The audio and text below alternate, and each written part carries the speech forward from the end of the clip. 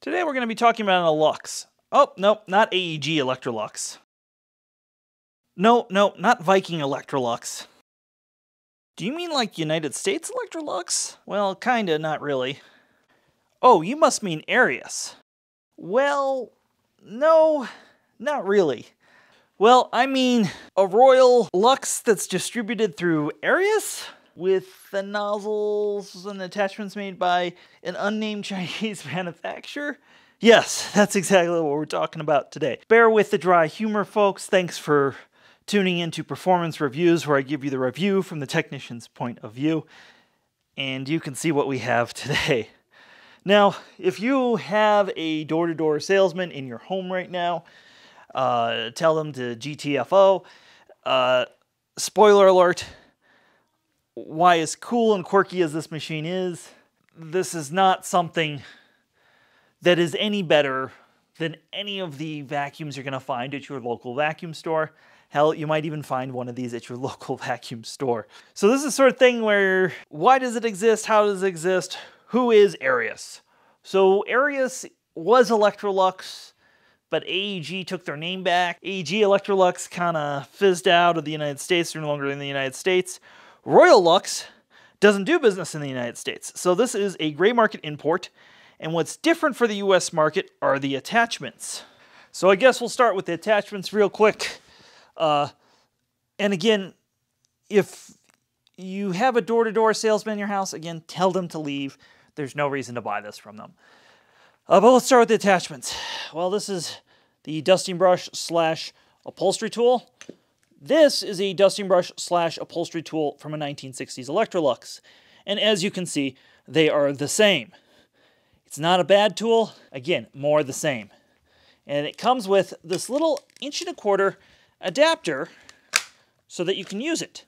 So despite them using this funky size, they actually give you the adapter, which I really like. That means you can go ahead and ditch any of the accessories you don't like and just use standard accessories.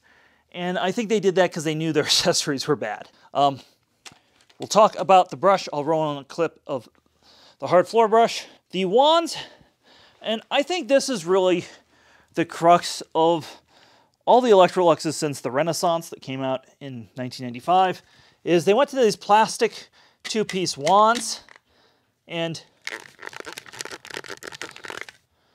yeah, that that's the sound it makes when you're using it. It doesn't feel premium.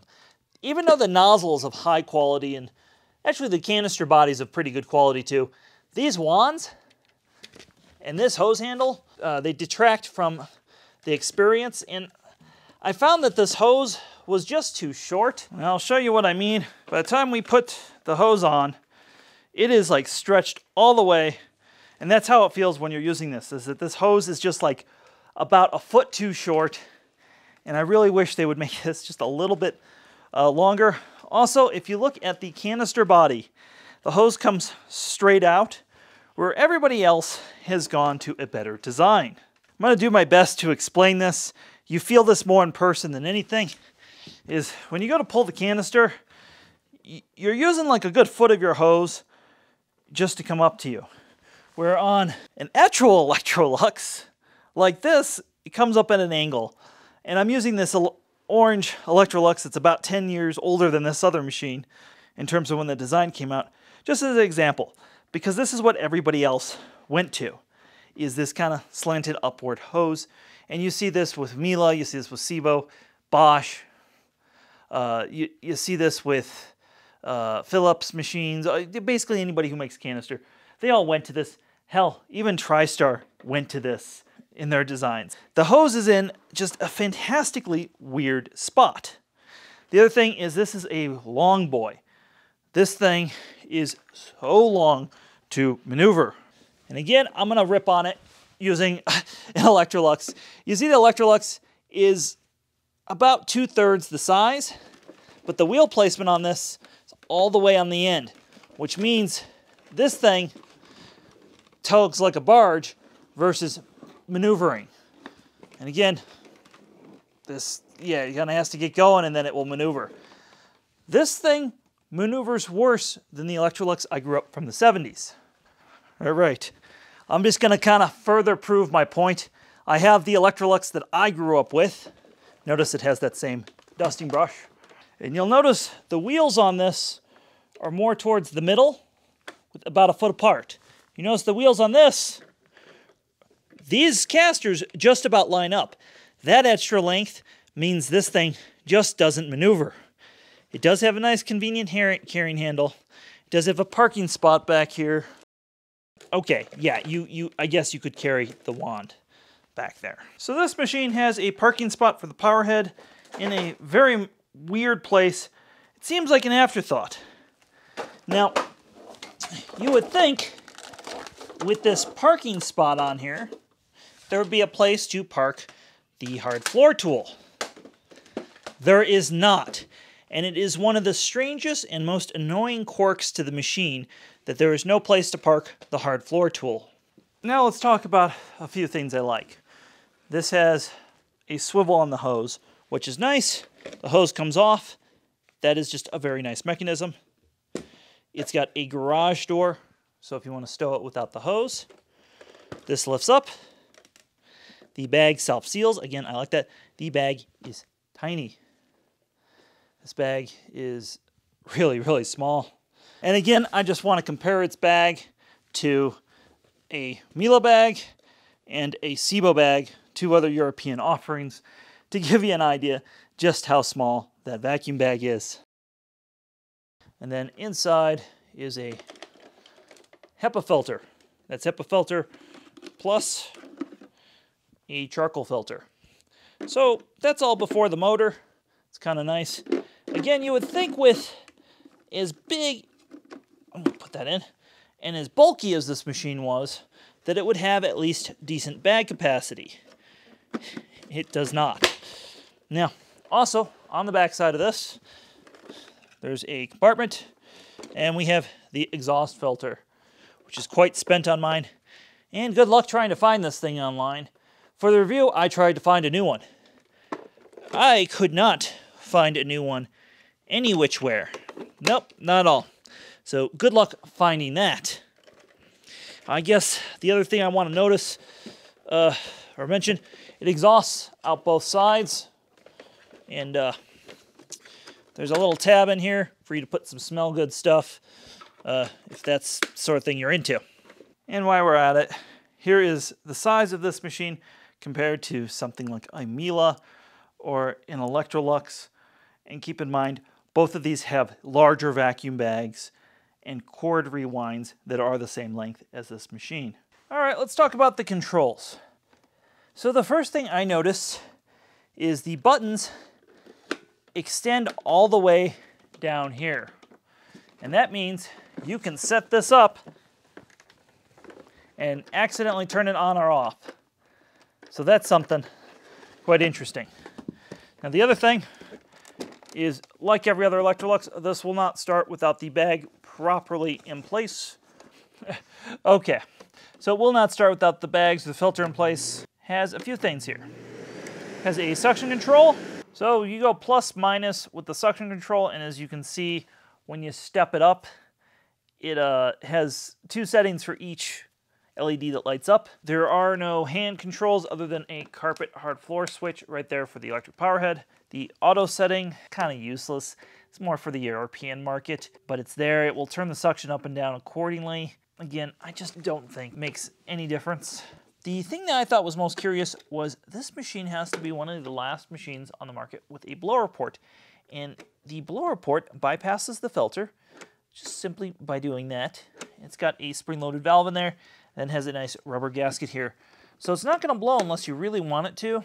The reason we see blower ports disappearing from vacuums, pretty simple. One, leaf blowers are really affordable. Two, the idea of blowing all the dust that's going to sit in these ridges of this hose around doesn't make a whole lot of sense.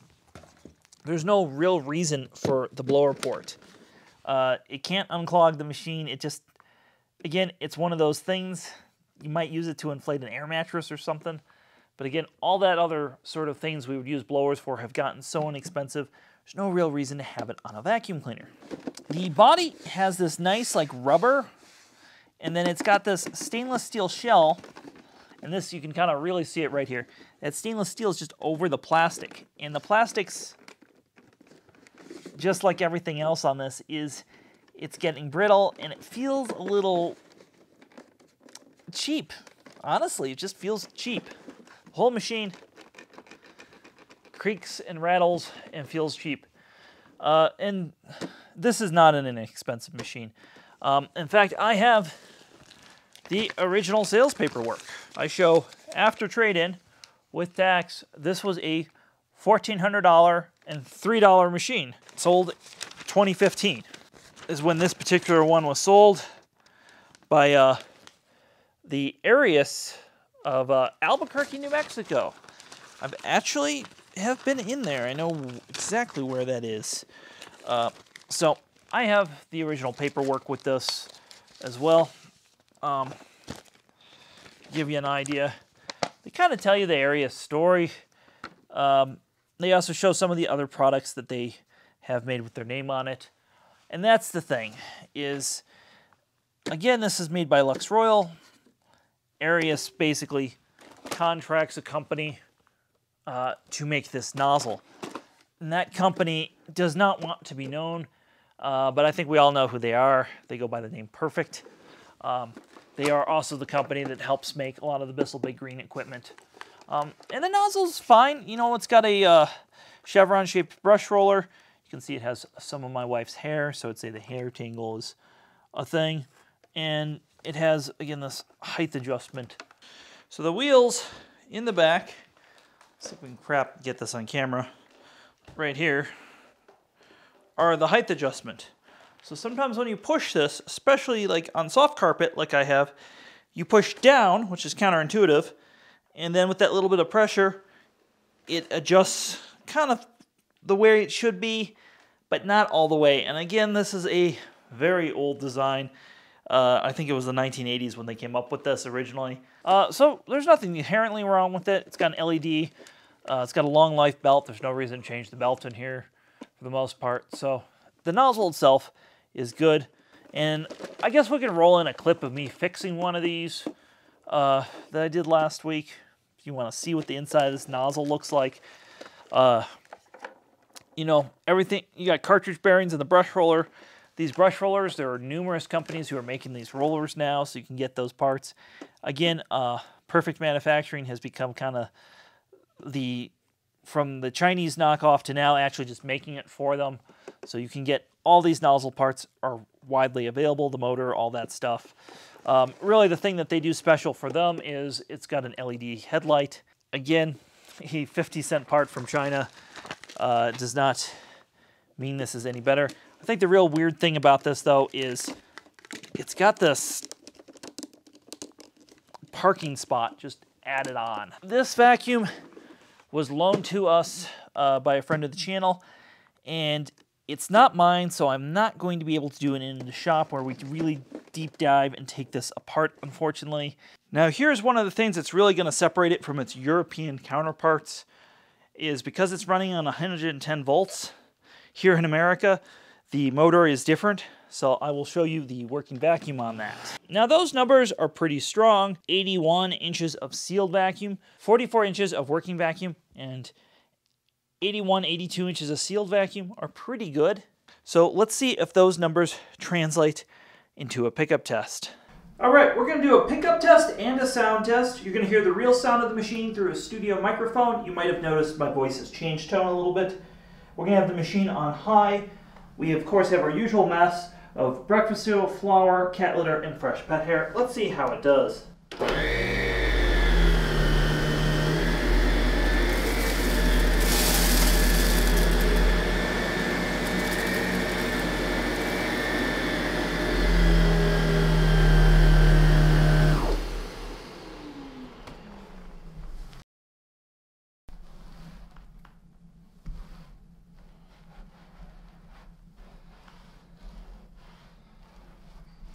So it seems to have left a little bit of flour behind, um, but everything else looks pretty good.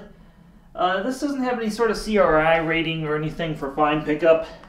And, it, you know, I will say, you know, the numbers are decent on this machine. it's it does the way that this old joint and this design is almost 30 years old. The way this is designed, it does leak a little bit of air, so it makes me wonder, uh, just on this machine, I don't usually think this with vacuums, that it might leak a little air through there. They of course have a chevron shaped brush roller, and that's very good as well. All right, let's see if it can redeem itself with its hard floor tool. And again, studio microphone. We have fresh pet hair, cat litter, flour, and breakfast cereal. Let's see how it does.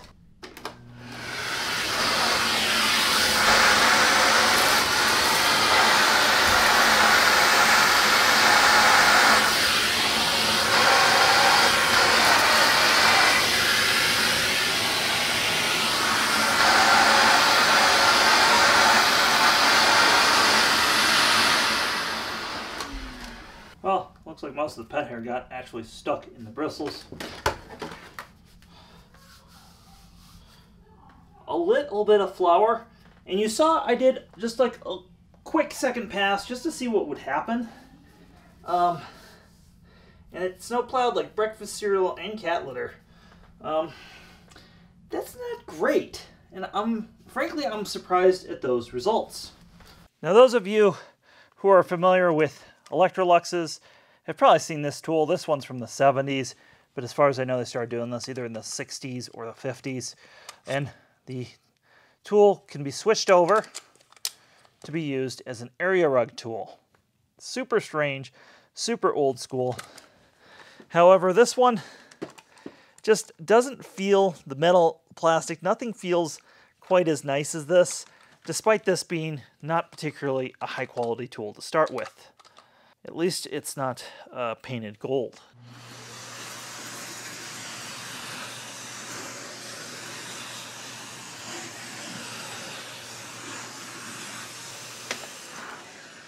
And then when you're done, you're supposed to switch it out.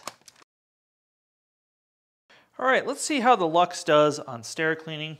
It does come with this lovely Sidekick 3 attachment. I want to say Sidekick 2, but it's a 3. Clicks into place and is electrically driven, which is really nice. So I've got some animal hair and some cat litter. Let's see how it does. So this machine does clean fairly well on stairs. The attachment is good.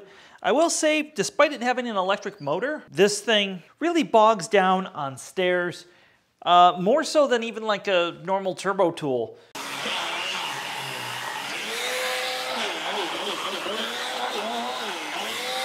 So it's not as strong as like the Zero G's powered or even sidekicks of the past.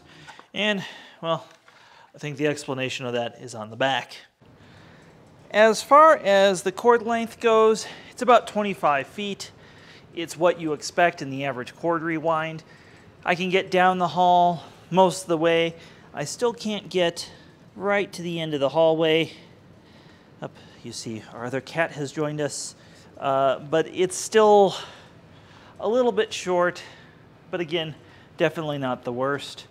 As far as low places get, that's where this nozzle really does exceed. It's really flat and low profile, and you can see it gets under a bed quite nicely. So my final thoughts on this gray market import. Well, it's really bulky. The tool set is probably the biggest hindrance of this machine and its wheelbase. Its wheelbase is unacceptable for when this machine came out. And I understand the latest version of this is now white where you see blue on here, but it is the same machine, the same accessories, the same motor. So I'm not gonna give it a recommend. If you saw one of these, you know, for 50 bucks, your local marketplace or the thrift store, and you needed a vacuum, this would not be the worst option either. And I think it's kind of like a Kirby in that way. It's not bad, but it's definitely far from modern. And that's that's its biggest downfall. So, thanks for watching. Big thank you to Ryan for lending this to the channel for us to film. Give this video a thumbs up. That helps us out a whole lot. If you love what we do, check out the description. We have a Discord server. We have links that benefit the channel and you can help us on Patreon if you wish to help us financially as well. Have yourself a wonderful day.